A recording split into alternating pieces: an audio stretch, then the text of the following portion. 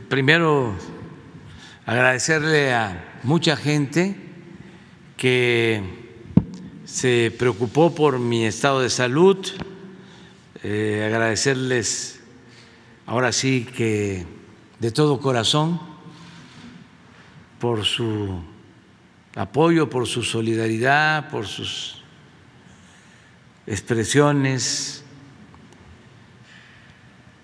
de ánimo y afortunadamente salieron bien las cosas.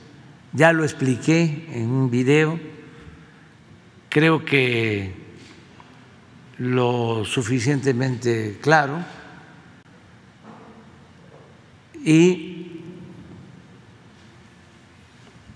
estoy muy bien, ya me dieron eh, licencia para aplicarme a fondo, para seguir trabajando con intensidad y llevar a cabo o consumar la transformación de la vida pública del país.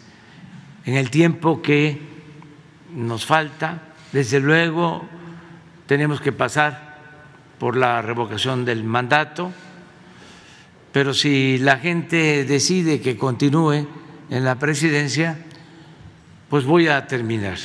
Vamos a concluir y vamos a cerrar un ciclo de lucha por la transformación de nuestro país y estoy seguro que vamos a entregar buenas cuentas.